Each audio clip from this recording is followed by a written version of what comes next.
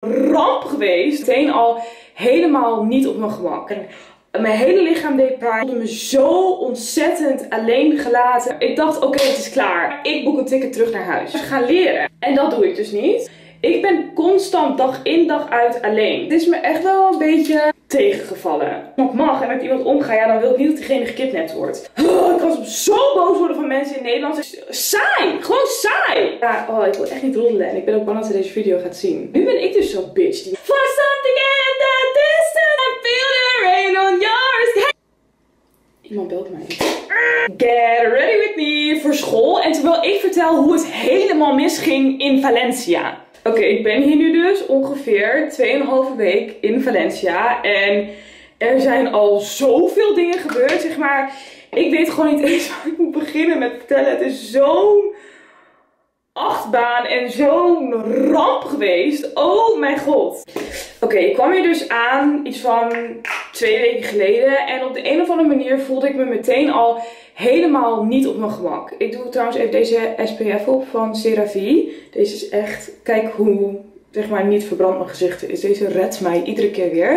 Um, ja, ik voelde me niet op mijn gemak. Ik weet niet waar het aan lag. Of het aan de stad lag, of het aan het huis lag, of het aan mij lag. Um, ik weet inmiddels wel dat het gewoon hartstikke aan mezelf lag. Want echt, oh mijn god, ik moest hartstikke ongesteld worden. En het kwam maar niet. En mijn hele lichaam deed pijn. En ik was de hele dag alleen. Ik voelde me zo ontzettend alleen gelaten en in de steek. En, terwijl ik had er zelf voor gekozen om hier te komen. Ik was boos op heel de wereld. Ik, ik dacht gewoon van nee, dit is de allerdomste keuze. Ik stond letterlijk op het punt om een ticket terug naar huis te boeken. Ik dacht oké, het is klaar. Ik boek een ticket terug naar huis. Maar goed, zoals je ziet, of tenminste, ik sta in mijn badkamer in Valencia. Dus ik ben niet naar huis gegaan. Um, maar er is wel echt ontzettend veel gebeurd en ik wil alles graag vertellen. Dus twee weken geleden op maandag ben ik voor het eerst hier naar school gegaan. Um, ik ben dus van plan om hier Spaans te leren.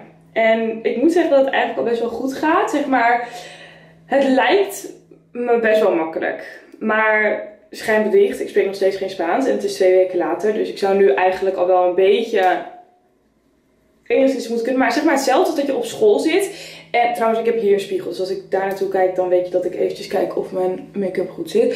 Zeg maar, hetzelfde dat je op school zit en je krijgt mijn huiswerk. En je krijgt mijn huiswerk. En je krijgt mijn huiswerk. En je gaat pas leren voordat de toets komt. Zo voel ik me. Zeg maar, iedere les denk ik, oh ja, simpel, snap ik. En dan krijg ik huiswerk mee. Maar ja, uiteindelijk moet ik het ook gewoon thuis gaan leren. En dat doe ik dus niet. Ik merk gewoon heel erg dat ik het zo lastig vind opeens om mezelf te motiveren. Ik ben constant dag in dag uit alleen. Ik sta alleen op, ik, ik ontbijt alleen, ik ga alleen naar de gym, ik, ik ga alleen naar school. En natuurlijk zijn er wel mensen op school en het zijn echt wel leuke mensen hoor trouwens.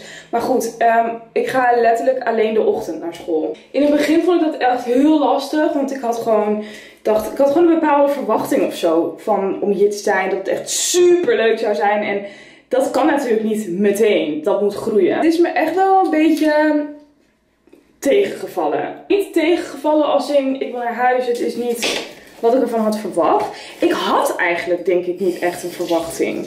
Ik had de verwachting dat het gewoon patsboom superleuk zou zijn en dat ik in één keer Spaans zou kunnen. En nou ja, in ieder geval, het is allemaal gewoon even heel erg lastig. Of het was heel erg lastig. Maar um, toen heb ik een meisje leren kennen. Sophia heet zij.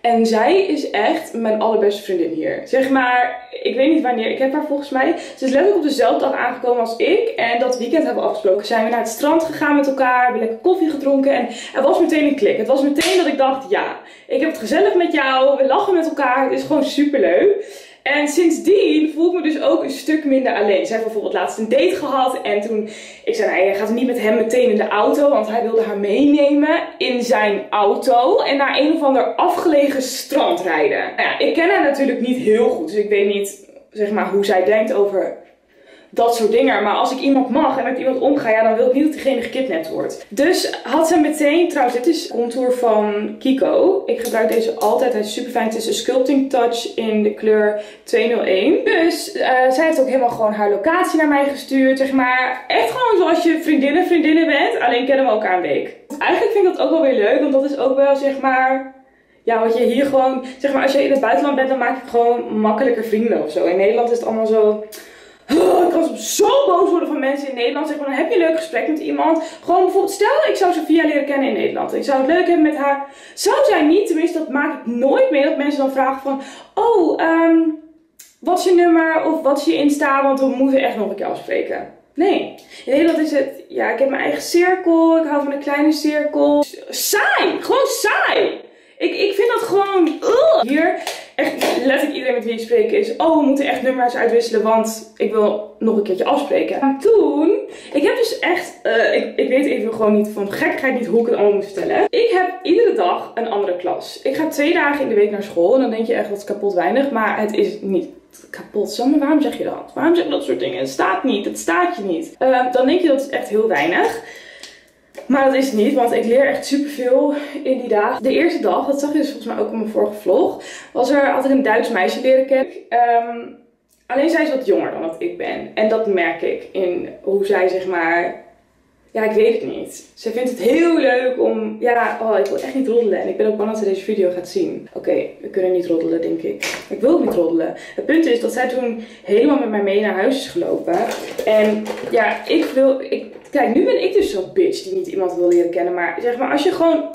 Kijk, je, je hebt wel zulke mensen dat je zoiets hebt van... Mm, wij zijn elkaar stiep niet. Zeg maar, ik vind het niet leuk met jou. Dat heb ik dus een klein beetje met haar. Alleen zij zit dus wel bij mij in de klas. En ik ben gisteren naar een bootcamp gegaan. Ik had dus overdag had ik al leg day gedaan. Want ik ben echt mijn sporten zo erg aan het oppakken. Ik heb hier spierpijn. Ik heb over mijn hele lichaam. Overal. Ik heb overal heb ik spierpijn. Ik ben dus helemaal mijn sport. Oh, ik vertel alles door elkaar. Uh! Mijn sporty lifestyle aan het oppakken. Ik sta elke dag op tijd op. Dan ga ik journalen.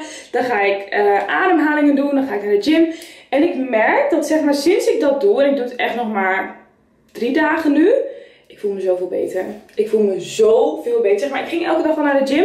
Maar dan ging ik bijvoorbeeld in de avond. Of dan ging ik, weet ik veel, gewoon in de middag een keertje als ik de tijd voor had. Nee, nee, nee, nee. Ik heb gewoon een schedule nodig. Mijn lichaam heeft dat nodig. Mijn, mijn, mijn, mijn gemoedstoestand, mijn hele mood heeft dat nodig. Het is dat ik een keertje mijn morning routine film. Wat ik eet misschien ook op een dag. I don't know. Let me know. Want ik zou het echt wel heel erg leuk vinden om dat te laten zien. Waar is nou mijn beauty blender? Waar is mijn potverdikke beauty blender? Ik heb hem net hier neergelegd en nu is hij weg. For something in the distance, so close I can almost taste it. I feel the rain on your skin. No one else. Ik kom net uit de douche en ik had een heel concert. Heel, zeg maar, heel Ahoy was uitverkocht. Ja, het was wel een mooie show. Het was een hele mooie show. Yeah! Woo! Thank you.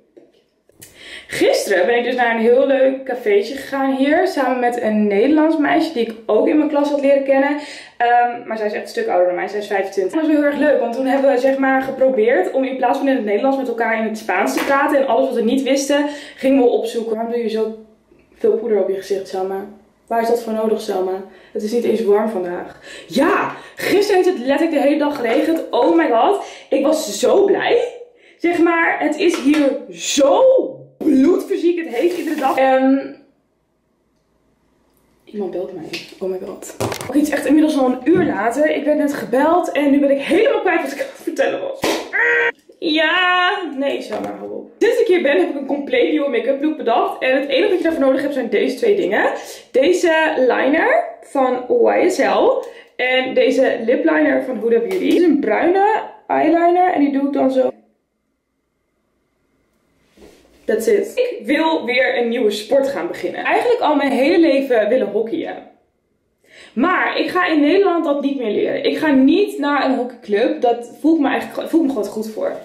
Ik haat dat. Ik kan die schaamte niet aan. Ik ga niet ergens heen in Nederland om hockey te spelen terwijl ik het nog niet kan.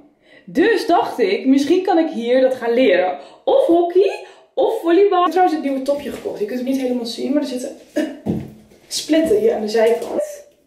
En dan is dit de final look. Als je deze video tot het einde hebt gekeken, vind ik dat super leuk en super lief. Laat me even weten of je vaker een update wil van hoe het is gegaan. En of je... Laat me even weten wat je eigenlijk allemaal wil weten. Als je vragen hebt, stel ze hieronder. Dan probeer ik ze in de volgende video te beantwoorden. Trouwens, ik wil nog vragen. Vind je het fijn? Vind je het fijner als ik op de zondag post of als ik op de woensdag post? Want ik weet zelf niet wat ik fijn vind. Um, misschien, misschien post ik deze week dus en op zondag deze video en op woensdag. Uh, en wat wil je dan zien? Dus woensdag een vlog of een what I eat in the day of een morning routine. Uh, routine. Ro een morning routine. Let me know. En als je deze video tot het einde vindt. Uh, als je deze video tot het einde hebt vind ik dat super leuk en super lief. Vergeet niet te abonneren en een comment achter te laten. Ik vind het super leuk om die te lezen. Ik doe heel erg mijn best om daar te reageren. En dan zie ik je heel graag morgen weer. Bye!